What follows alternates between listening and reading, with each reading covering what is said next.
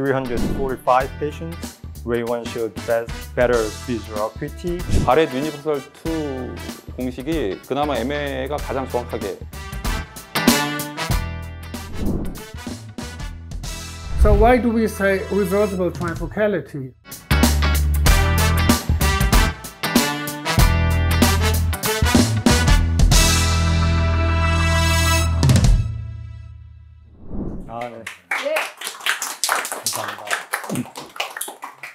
Good evening.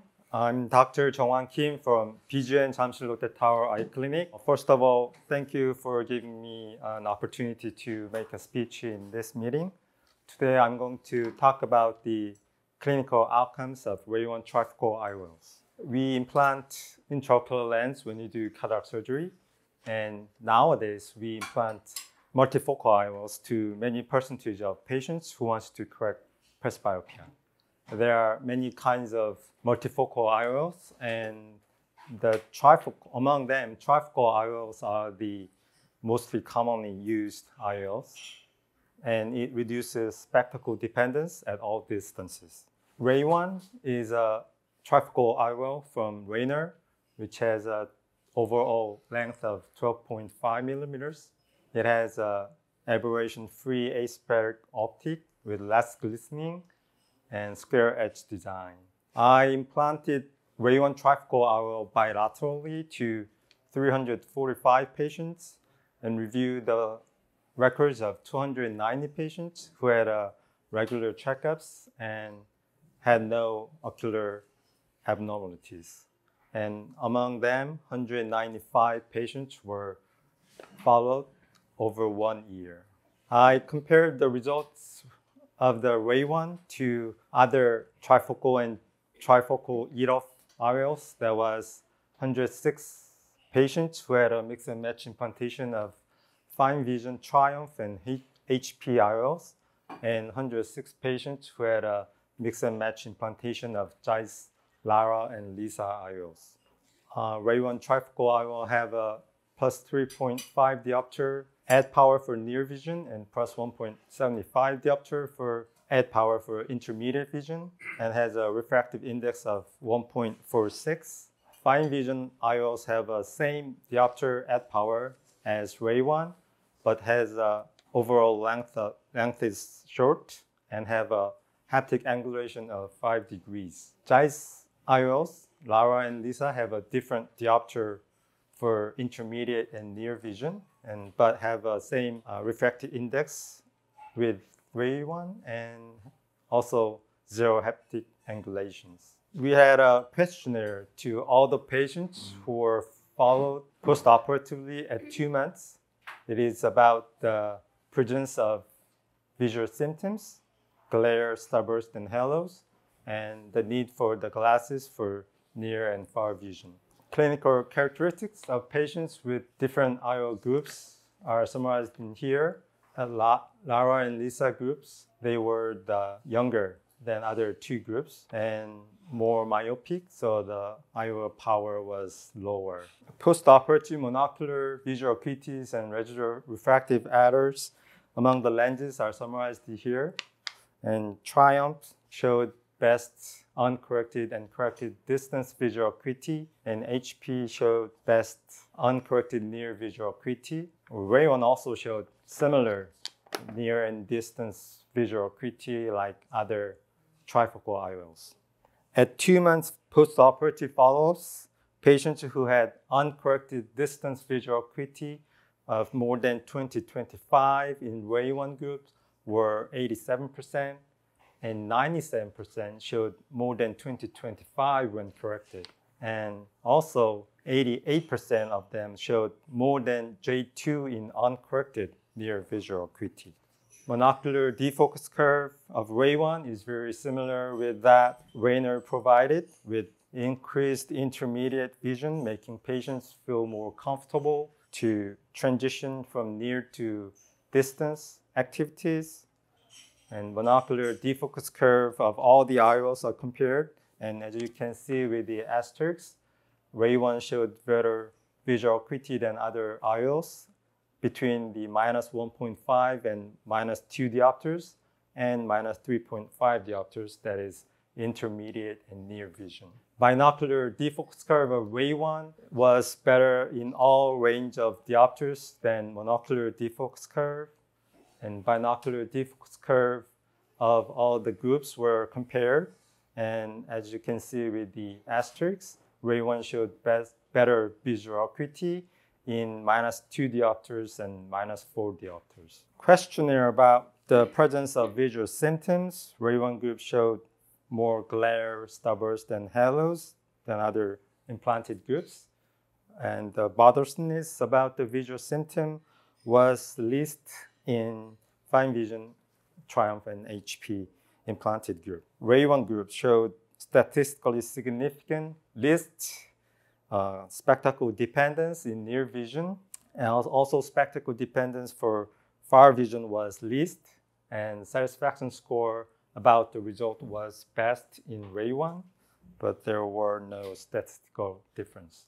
One year post-operative follow-ups, RayOne patient who had uncorrected distance visual acuity of more than 2025 in RayOne group were 87% and 98% showed more than 2025 when corrected and 80% of them also showed more than J2 in uncorrected near visual acuity. That was very similar results with uh, two months follow-up of the RayOne. So I think the long-term stability, visual stability was great in RayOne.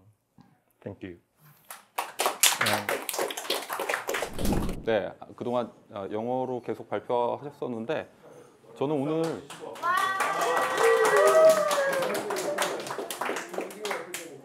그냥 경험적인 부분, 그냥 저희 병원에서 했던 거 어, 조금 안내해드리고자 한글로 일단 말씀드리고자 하는 거고요. 어, 약간 이제 실전적인 부분에 대해서 조금 언급해드리려고 이렇게 예, 발표를 하- 하도록 하겠습니다. 일단 뭐 이- 이런 순서로 갈 건데 이제 케이스를 저희가 조금 약간 준비를 했고요. 일단 뭐 아까 다 그 앞에 계신 분들이 말씀해 주신 겁니다. 오버올 다이아메트가 12.5mm라고 해서 파노픽스가 13mm거든요. 근데 훨씬 더 커 보입니다. 실질적으로 보면 훨씬 더 커 보여서 이게 익스, 익스체인지를 처음에 저는 생각을 했었는데 이게 쉽진 않, 않더라고요 생각보다. 그래서 일단 크다. 그리고 어, 일단 커브 제가 이 레이원을 선택했던 이유 중에 가장 그 주된 사항은 라이트 로스가 11%밖에 없다. 그래서 이제 확실한 어떤 비전을 좀 더 보여주는 거 아닐까 생각해서 일단 진행을 했는데 예, 그리고 제가 써본 렌즈는 여기 이제 리사 트리 제가 파인 비전은 안 써봤습니다. 리사 트리랑 파노틱스, 그, 그 레이온 트리포컬 이렇게 세 가지를 약간 비교하는 방식으로 조금 설명을 한번 드리고자 이렇게 아, 일단 진행을 하도록 하겠습니다. 이제 이 이게 이제 그 디프렉티브 커브인데요. 디프렉티브 커브 디자인이 약간 레이너가 다르죠. 약간 더 스티프한 느낌이 있고요. 여기는 리사나 뭐 파노틱스 같은 경우는 약간 중간에 트랜지션 존 같은 구역이 존재해서 약간 랜딩 존이 약간 더 넓은 느낌이 있습니다. 약간 더 예, 정확하게 떨어지면 펑션 자체는 똑같이 나오는데 이제 그런 헷갈리게 하는 차이가 약간 있다는 거. 그리고 이제 뭐 라이트 커브는 비슷하게 나올 거고요. 예, 저희는 이제 그 전체적인 환자 구는 한 57세 정도 평균 나왔고요.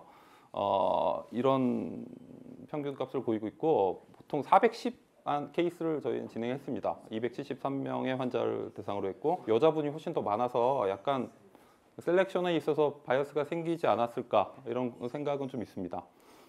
그리고 보통 바이노큘러로 양쪽 다 이제 레이원을 넣은 케이스가 한 60, 67% 정도 되고요. 그 다음에 한쪽 눈 리사트리 넣고 한쪽 눈 레이원을 넣은 케이스가 한 126 케이스 정도 됩니다. 근데 이렇게 한 이유 중에 하나는 우선 그 토릭이 없어요.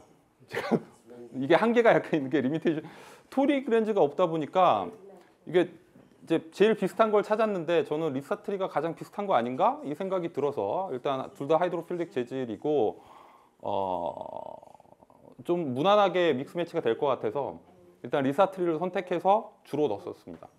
그리고 단합만 넣은 케이스가 한 10케이스 정도 되고요. 그래서 이런 케이스를 일단 기본적으로 정리를 해봤는데 레이원을 처음 딱 넣으면 당황하는 게 ARK 찍히는 게 어마 왔다 갔다 합니다. 뭐 레인지 자체가 뭐 M에서 마이너스 2디옵터까지 이렇게 왔다 갔다 하는데 저희가 이제 그 리프렉티브 오토 리프렉티브 케라토메터가 니덱과 캐논 두 가지 장비가 있습니다. 근데 두 가지 장비로 잠깐 비교를 해봤는데 어 니덱이 조금 더그그 뭐야 스탠다드 데비에이션이 더 커서 보면 더 널뛰는 방향으로 나옵니다. 그리고 그 캐논 같은 경우는 마이너스 한 1디옵터 정도가 M의 타겟인 것 같고요. 어, 그- 그래서 저희는 MR도 다 따- 따로 이제 진행을 같이 했는데 전, 전반적으로 보면 이제 처음에 조금 더 이게 조절력 때문에 그런 건지 더 날뛰게 이제 ARK가 찍히고 6개월 정도 지나면 그래도 어느 정도 약간 더 안정되게 나오는 편이긴 합니다. 스탠다드 데비에이션도 약간 줄고 뭐 이렇게 그런 식으로. 그리고 시력 자체도 시력 자체 뭐 니어파 MM만 맞으면 다 잘 나오는 그, 그리고 인터미디까지 잘 나오는 그런 렌즈라고 보시면 되겠습니다. 그리고 이제 그 중에서 가장 정확한 공식이 뭔지 저희가 이제 저희 병원 데이터로 공식을 한번 비교해 봤는데요. 여기 바렛 유니버설 2 공식이 그나마 MA가 가장 정확하게 나오는 공식으로 나왔습니다. 근데 이제 이 중에서 뭐 MA에 딱 떨어졌을 때 이게 과연 하이프로픽을 먼저 선택을 해야 되냐 아니면 마요픽을 선택해야 되냐에 대한 고민이 또 있었는데 예, 하이, 첫 번째 하이프로픽 되는 렌즈를 선택하시는 게 가장 MA에 가깝게 떨어진다 이렇게 보시면 될 것 같고요. 그 컨트라스트 센시티비티는 이렇게 나오고 있습니다. 그래서 이제 레이원 한쪽 레이원 눈, 눈 넣은 눈하고 반대쪽 이제 리사틀이 넣은 케이스를 약간 이렇게 한번 비교를 해봐, 해봤습니다. 과연 두 눈의 시력 차이는 날지. 근데 안 나더라고요. 거의 펑션 자체는 비슷하게 나오지 않을까 이렇게 보고 있고요. 예, 컨트라스트도 거의 비슷하게 떨어지고 있습니다. 이제 이제 저희가 파노틱스를 예전에 부터 한 이게 2019년도에 거의 메인으로 썼던 렌즈라서 이제 그때도 토릭이 좀 늦게 나왔거든요. 그래서 약간 비교를 한번 같이 해보려고 해봤는데 이제 그 데모그래픽 처음 프리오피 파일을 어느 정도 이렇게 맞춘 상태에서 이렇게 진행을 했습니다. 타겟 디옵터는 A 컨스턴트 때문에 아마 두 가지 도수가 약간 다르게 찍힐 걸로 예상이 되고요. 그래서 어, 레이원은 363 케이스, 파노브는 1000 케이스 정도 해- 이제 시력을 약간 비교를 해봤는데 어, 이게 보면은 어, 처음에 니어 쪽은 파노비 약간 더 잘 나오는 느낌이 있고 그 다음에 파 쪽은 레이온이 조금 더 잘 나오는 경향이 있는데 이게 이제 셀렉션 데비에이션이 아닌가 하는 생각이 약간 있습니다. 왜냐면 이게 레이온 같은 경우는 아이올 마스터의 첫 번째 하이프로피아를 이렇게 초이스를 해야 되는 거고요. 파노 같은 경우는 에메트로피아 첫 번째 마이오피아를 선택을 해야 되는 거라 이게 자꾸 이제 이렇게 이렇게 선택을 하다 보니까 데비에이션이 자꾸 이게 벌어지는 거 아닌가. 그래서 니어가 파노비 좀더 좋게 나오고 파는 레이원이 조금 더 좋게 나온 이런 결과가 나왔었어요. 일단 우리 병원의 이제 시력적인 데이터는 보통 이렇게 나왔고요.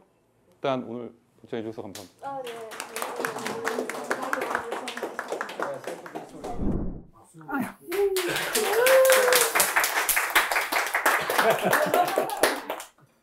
Okay, yeah, good evening, everybody. It's a pleasure for me to be here. And I'm very happy to share with you my experience with, with Rayner in general and also with the trifocal uh, Sulcoflex and the concept of reversible trifocality, I think, which is very interesting nowadays and can be applied in, in a lot of fashions. I use Rayner lenses for 25 years. I have used Rayner really from the beginning. I've, I've went to every phase, every type of lens. Started actually with PMMA Rayner lenses, then the first foldable, Centerflex, C-Flex, the first toric, everything uh, I've done. The first multifocal toric in the world actually. The very first multifocal toric lens was a Rayner lens. I implanted in Heidelberg. Now, nobody really knows that because everybody takes this for granted that you have multifocal lenses in a toric version. But in 2006, it was the very first one, uh, handmade, so to say, for the very first patient. And then there were a lot of innovations in just the last couple of years. That reversible trifocality, the EMV, uh, which is not the topic today, have been very good, uh, innovative products, pipeline products, so to say. We've actually do, did a lot of research. Every lens we researched, we did studies, we looked at it, we examined it, we sent to peer review publication, and uh, so we did quite a bit of publications on all these lenses. We just now heard about the Sulcoflex. I think the concept of having a capsular bag lens and then an additional lens in the sulcus has been established. Everybody can understand. If you create a lens specifically made for the sulcus. It's the material, the design, the dimensions, also the form of the haptic is adapted to the location, then this is a very good solution. And in, in Europe, we're using supplemental lenses for a long, long time, even other products for longer times. But the Sulcoflex was the first really designed and especially also with the material very much adapted to this delicate space.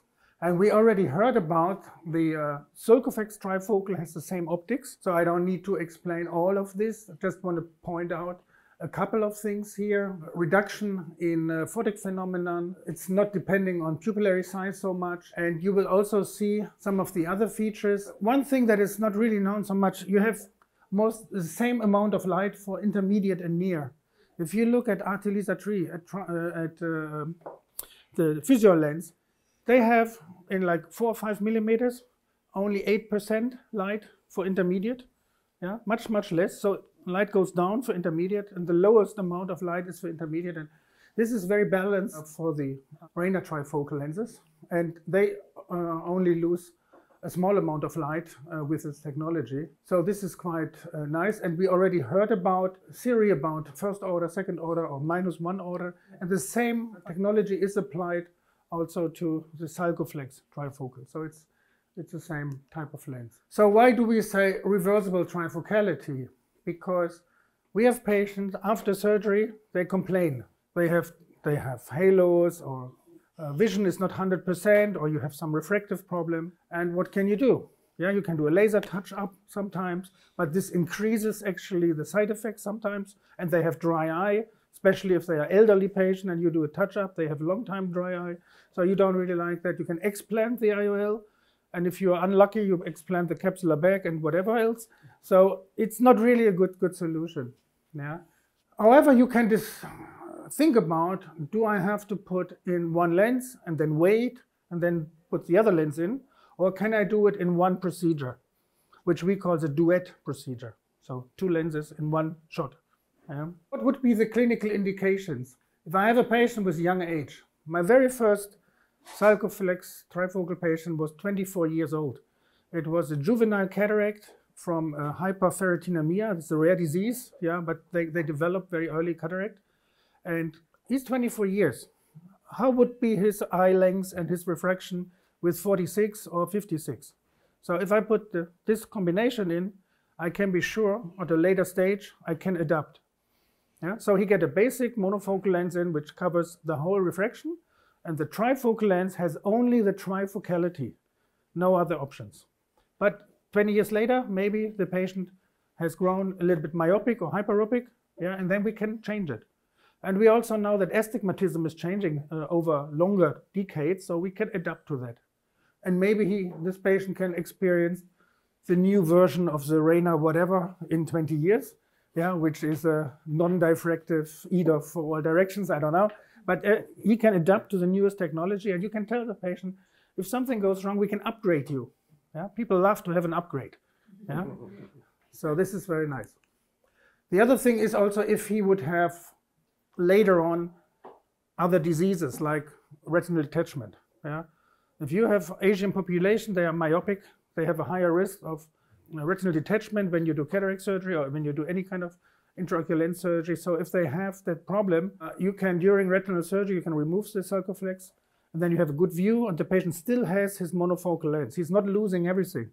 Uh, so this is also a very good, good thing.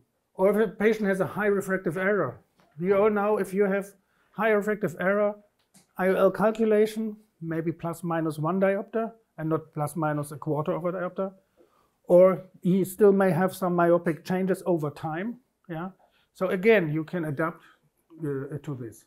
Or if they have some kind of little changes, I mean, none of the patients is perfect. You have cataract patients, the macula is okay, has some little changes in pigment uh, color and some drusen maybe even, but otherwise uh, you expect a good result. You can put the lens in. And if 10 years later he deserves macular treatment, you still can remove it, uh, which you cannot do with a capsular bag faded. So this applies to a lot of situations where you have like a borderline indication. And then, of course, the whole topic of halo glare. We have a patient who urgently wants to have a trifocal lens. His, his neighbor, his friend has gotten it. But you know already when you talk with the patient, this is kind of obsessive person. He may be trouble in the long run, but still you can put it in. And if everything is fine, it's good. If not, you still have the option of removing that. And then the patient will not lose the whole lens, it will just lose the trifocal part, which is also quite, uh, quite good option here for it. That's why we actually call it reversible. We, we always discuss these things, patient with otherwise healthy eyes, but they may have borderline binocular function, maybe mild amblyopia, or some of the elderly patients don't even know that they had a squint when they were a child. Yeah. Sometimes you can have a problem if you just put routinely trifocal lens in and then later they come up and have some problems. So again, here you have the possibility of uh, reversibility. We looked at this also in my, my, my lab, the David Apple lab, because it's a different story, you would think, if you have one lens in the capsular bag, one optic, or you have like two optics on each other. So you may think, oh, there's some trouble or something can happen there. So we compared the uh, Sulcoflex trifocal with the RayOne aspheric as a duet implantation with the normal trifocal lens, which in the, in the back, so to say. What is important here, you don't need to copy all these mathematical calculations. Yeah, don't worry about that. But what is important is the surface reflection. So we have one, two, three, four surfaces. So do we have a problem here with too much reflections? Yeah? So we evaluated that. And when we look at the typical curves, the so-called MTF, which is like the image quality of a there's no difference if you see the black and the, and the uh, red line. This is uh, for far, intermediate, near, uh, for different spatial frequencies, it's the same. There's no difference if you have one in the back or you have two lenses in the system. If you look at the, the focus curve, it's exactly the same. Uh, United States Air Force targets, everything is the same. So there's no difference if you put the trifocal lens in the back or the combination. And an interesting thing is the good optical quality of the material we calculated the reflectance, which is, uh, with the Rayner material, 0.4%. Uh, so the transmission in, in this material is 99.6%. If you have the two IOLs, you're losing 0.8% in this combined thing with diffraction and everything. So still have 99.2%. If you take a normal AcrySof lens, because of the hydrophobic material and the refractive index, they already lose 1.1%. And this is only one lens. So you don't need to worry about putting two together. The quality of vision is absolutely identical. There's zero, zero difference. So with the Sulcoflex trifocal, we have several possibilities. We can do the simultaneous duet implantation. So we do the cataract surgery, we put the lens in the capsular bag, and then we put the Sulcoflex trifocal on it. We can do a sequential duet implantation. First, uh, the basic lens or toric lens, and then a, after a certain time, couple of weeks, the second lens. For example, if you have a complicated laser, post-laser case and you are not really sure, I would rather put first the monofocal lens in and then wait. And if it's like one diopter off, you put that in the Sulcoflex trifocal in and then you can cover both. You can, of course, also put it in, and if you're lucky, you're okay. And if you're not lucky, you exchange the Sulcoflex trifocal. But it depends how complicated this case is, and you don't want to go two or three times in the same eye. Another thing which is quite interesting, and which may be interesting in some of the practices, just to marketing this for your practice, that you say, oh, you've been done surgery, monofocal lenses five, ten years ago, and then you see all the other guys coming to, to our practice get, get a trifocal lens and can see. But you can be upgraded, so to say. We can put that in your eye, and then you can also become uh, independent. So that would be the the secondary so-called uh, duet implantation. So when you put the lens in, it, it actually doesn't really 100% matter which is the basic lens. I like to use the, the Rayner lens, the RayOne, uh, to put it in as a base lens first. But you can also use any kind of other lens, or if, if, if the patient has already whatever, even an AcrySof doesn't matter, you still can put the Sulcoflex trifocal on it. When the lens is in the capsular bag, what I usually do then is first I remove the viscoelastic from the capsular bag. And then I put again new viscoelastic in the sulcus.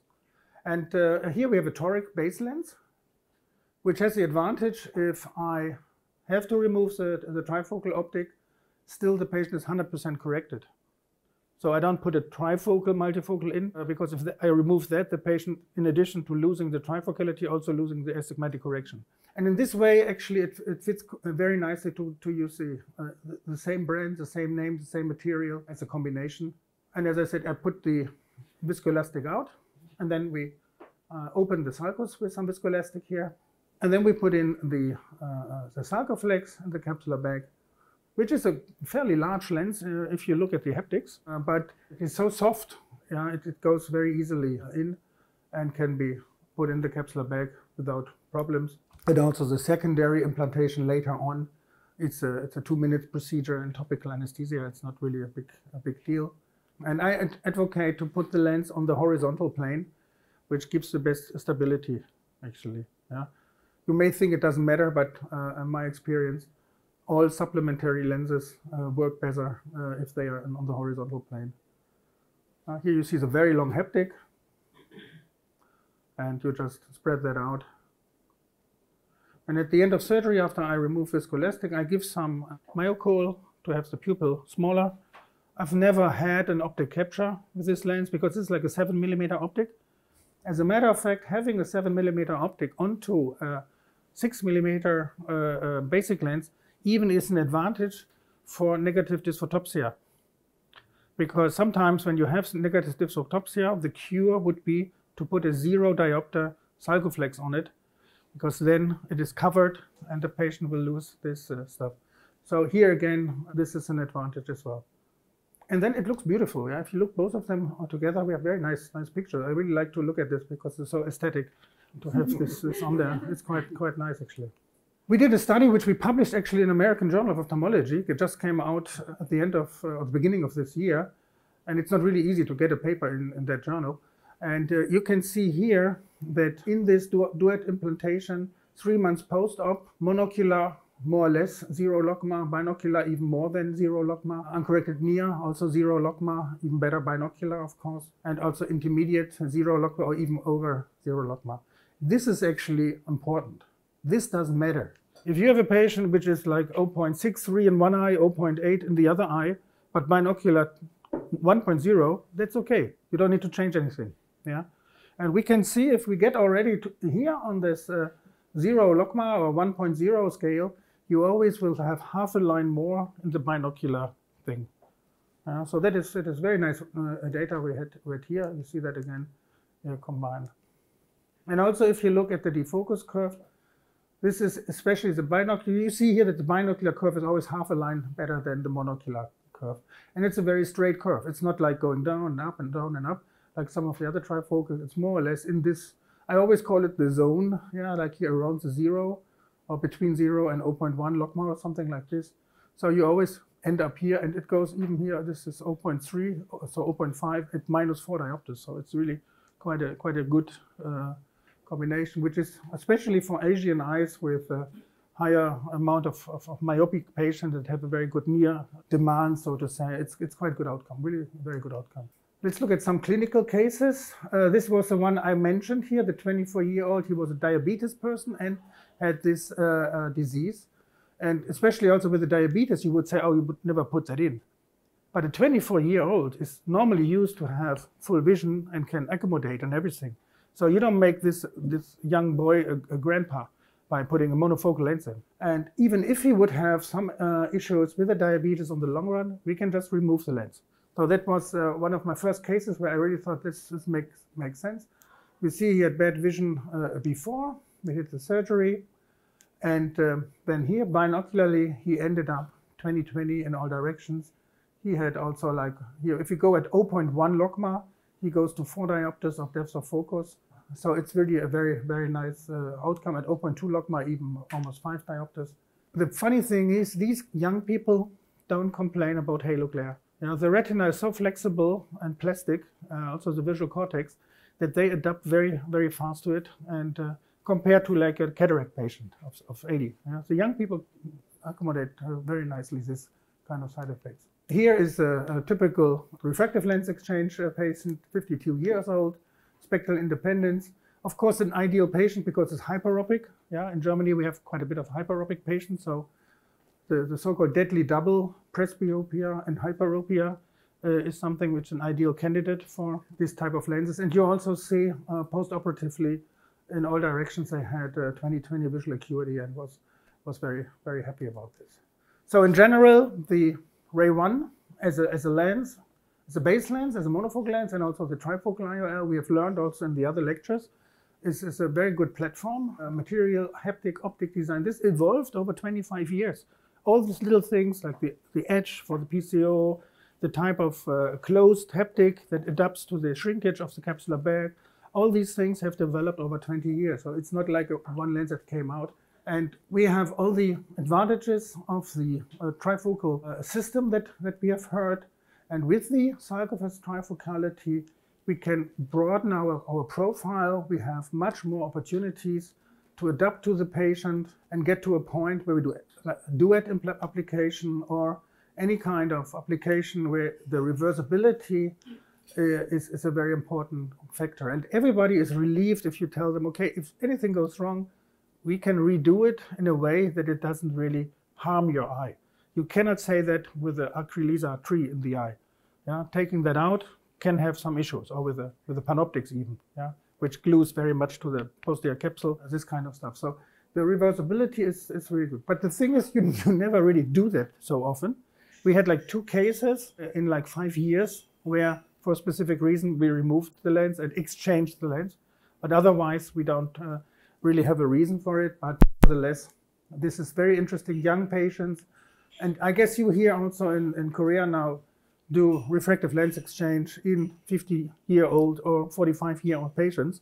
So this we're not talking about 80 year old grandma this is quite an interesting concept here. And uh, I think the longer we use this technology, the more we will have growing knowledge, but also growing indication profiles, individual cases where we say, this would be an ideal patient now, let's try this. And if it doesn't work, we can take it out.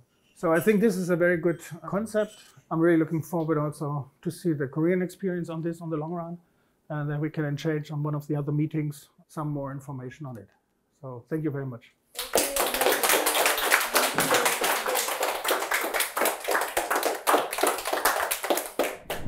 Is there any case of uh, membrane, a growing membrane between the two lenses? No. Because uh, yeah, because no. in the older days and uh, yeah, yeah, it's an important topic because uh, when they did in the United States the so-called piggybacking, yeah, they put like a normal lens that you usually put in the capsular bag. Mm. They just put in the sulcus. Yeah. Mm. So you have two uh, uh, convex lenses uh, on, on each other. yeah and it's kind of moving, and it's also it's not really designed for the for the, uh, for the sulcus, not at. Mm-hmm. And this is one optical system, and uh, um, there's absolutely zero also reports in the literature about this interlenticular opacification. Uh, yeah. So this is, uh, this is a huge difference. Mm -hmm. I heard that never put the single piece lenses on the surface. Yeah, yes. this, ref this, this, refers to the posterior chamber uh, capsular bag single piece lenses. If you if you have a posterior capsule rupture, then you have an AcrySof, and you have a rupture, you don't put it in the, uh, in the, in the bag, you put it in the sulcus. You have on this lens you have everything like sharp edge and stuff like this to prevent PCO. But you don't want to have this type of uh, design uh, directly under your, your iris. And that's why the the Sulcoflex uh, has uh, avoided all these features, which uh, can induce pigment dispersion or rubbing or something like this. Uh, that, that is the, the, idea of having a specifically designed lens for the sulcus and not just a normal lens you would just put there. Yeah. And that is the difference. Is there any case um, of zonular injury after Sulcoflex surgery uh, yeah. in long-term follow-up? No, no, I, I haven't seen that. It's a good idea, actually, what you would expect if you, uh, theoretically, for example, if you put an ICL in a patient who has some zonular problems, it can swap down there. But we have like a 14 millimeter, 14 millimeter overall diameter, and the, the haptic is extremely long compared to a normal haptic. I don't really know how long it is, but it's very long. And uh, you really must have, uh, you know, hit with a, with a fist, yeah, and, and a huge zonular lysis to have any problems with that. So in normal cases, it's almost impossible that the lens uh, is, is, going through a zonular defect. It, I have never seen that. Yeah? I would publish it if I have if I see it. I would put it in a journal. Yeah? But I haven't. Uh, unfortunately, I haven't seen it yet. yeah. No, it's, it's really not, not, not, not possible. Well, Rayner has full range of IOLs from monofocal to tr- multifocal with toric and Sulcoflex. So we could use Rayner IOLs in every cases with with problems, complications. So I think it's great. Well, I used RayOne trifocal IOLs, and I have an experience of great intermediate and near visual acuity and long-term visual stability with the RayOne. So, and actually we cannot. I couldn't use toric IOLs in Korea. It's not available right now, but I hope to. I can use it soon in my clinic because uh, Rayner is a very uh, professional lens manufacturer company, and I wanted to share my experience with doctors. And Dr. Alford had a good lecture about the Sulcoflex. I wanted to hear about it. That's why I came here. This is my first experience that I know about the Sulcoflex. So uh, I think I'm gonna use it in my clinic. Well, Rayner is the first company in the world who produce an intraocular lenses, and I had the pleasure actually to meet the Harold Ridley, the one who implanted the first lens. And uh, Rayner had its headquarters actually in Heidelberg, where I live uh, in Germany. So for more than 25 years, I was exposed to Rayner products, and I know this company since that time. I think that Rayner really has evolved tremendously uh, in terms of biomaterial, design, and optical uh, developments, having a large range of intraocular lenses from monofocal, monofocal plus, trifocal, Sulcoflex as a supplementary IOL, and even a trifocal uh, supplementary IOL. So it has a whole range of opportunities for the surgeon. I have been using Rayner lenses since I started in ophthalmology, also more than 25 years. I went through all the phases of developments and was involved also in some of the developments. So I trust very much the product because I know where it comes from, which is very important. And uh, I've researched all the products by doing controlled studies. So in this way, I know exactly what the outcome is, and the outcome was always very good. So that's why I rely on the Rayner lenses. We, we heard in this uh, small symposium about the uh, experience of large-scale users, yeah, and very reliable outcome and very good uh, uh, results in terms of visual acuity and low profile of uh, dysphotopsia and problems.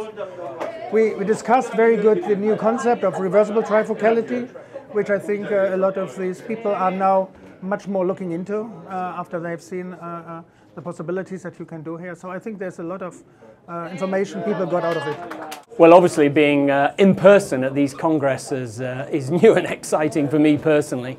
So, attending APACRS in, in Seoul is, is an absolute delight.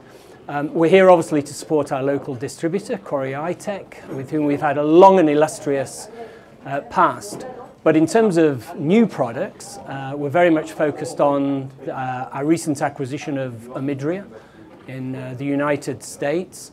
Uh, last week, we were able to announce uh, a strategic partnership with Hassa Optics, which will be uh, a really exciting and important project in the near future. And then in terms of R&D, we'll soon be launching RayOne EMV Toric, uh, and we are very busy with uh, many other exciting R&D projects centered around polyfocality and also accommodating. Uh, predominantly, actually, this evening we've had a key user meeting and uh, several KOLs presenting, and that's why I attend, honestly, because there isn't uh, one of these meetings I don't go to where I don't learn an awful lot. Uh, Rayner's um, sits in an interesting position in the market, in my opinion. We sit between these giant companies that have large internal R&D machines, and we sit above many of these smaller domestic companies. So one of our important roles in the market, I believe, is to be the, in, the partner of choice for surgeons and academics and universities who are innovators. We really want to be the company that people go to with great ideas for a new IOL that might generate $50 million of revenue because we're small enough to care about that, but we're big enough to commercialize it on a global basis. So these are the meetings where these opportunities tend to emerge. Yeah, well, that's the question I get asked uh, most, honestly. And uh, for me, it has to be on clinical outcomes. So, you know, many of our competitors, the Alcons, the B&Ls, the J&Js, they're a one-stop shop for ophthalmology. They're making hundreds and hundreds and hundreds of products. We only make IOLs. That's our entire focus. So it's our passion and our responsibility to be better at that than anybody else. So when I come to events like today and I hear about Korean surgeons who are presenting data on two, three, four hundred patients using our trifocal IOLs, showing superiority over other products in the market, that's what makes us different.